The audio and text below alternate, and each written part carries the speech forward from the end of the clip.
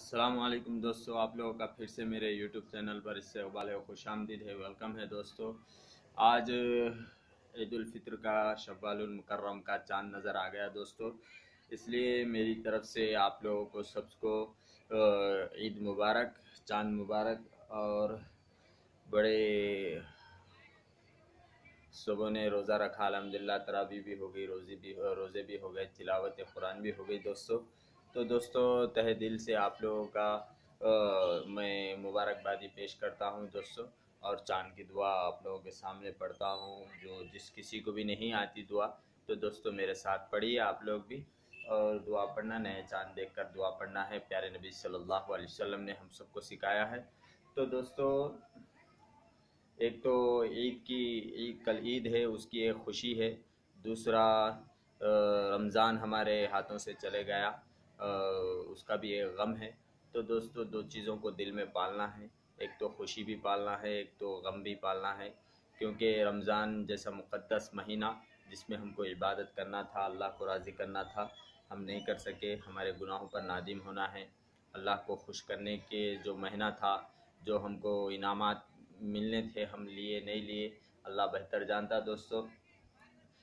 تو دوستو، یہ مہینہ تھا ایک سیزن کا مہینہ تھا، نیکیوں کے سیزن کا مہینہ تھا، جنت کمانا تھا، ماں باپ کو خوش کرنا تھا اور غریبوں کی مدد کرنا تھا اور یتیموں کا سہارا بننا تھا، بھوکوں کو پیاس، بھوکوں کو کھانا کھلانے کا مہینہ تھا اور پیاسوں کو پانی پلانے کا مہینہ تھا اور لنگوں کو کپڑے پہنانے کا مہینہ تھا زکوٰۃ، صدقہ، خیرات نکالنے کا مہینہ تھا۔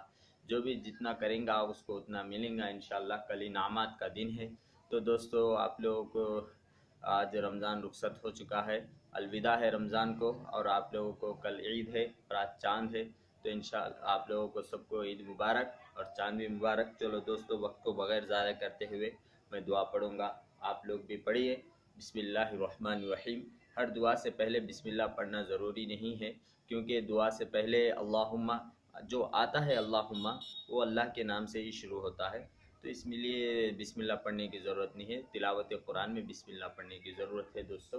اور خطبہ خطبہ جو دیتے، ہم عربی خطبہ دیتے جمعہ میں ہو، عیدین میں ہو، تو اس سے پہلے بھی بسم اللہ پڑھنے کی ضرورت نہیں ہے۔ کیونکہ الحمدللہ رب العالمین سے شروع ہوتا ہے تمام تعریف اللہ کے لیے۔ تو بسم اللہ کا بھی مطلب یہی ہے، اللہ کے نام سے شروع ہونا۔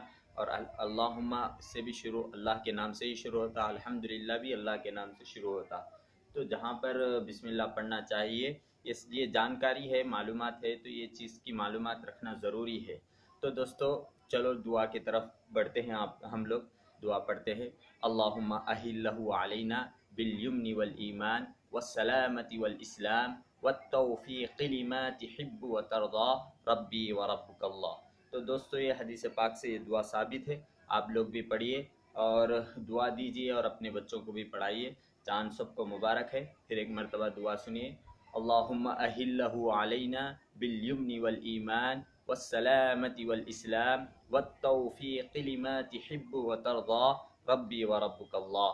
دوستو مجھے اجازت دیجئے. اللہ حافظ. اور رمضان مبارک. سب کو عید مبارک.